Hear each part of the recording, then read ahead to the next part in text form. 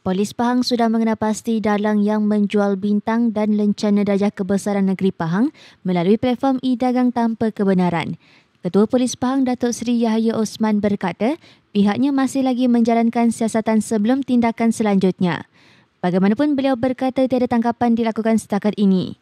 Yahya berkata demikian ketika ditemui media pada Majlis Pelepasan Petugas Bantuan Sumber Manusia Pilihan Raya Negeri PRN Dewan Undangan Negeri DUN ke-15 di Dataran Kawat Kompleks PDRM Alor Akar di Kuantan pada Kamis.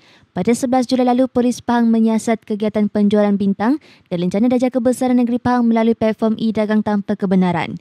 Kegiatan penjualan itu dikesan selepas Ibu Pejabat Polis Daerah IPD Pekan menerima laporan dan siasatan awal mendapati satu set darjah kebesaran itu dijual pada harga melebihi RM1,000.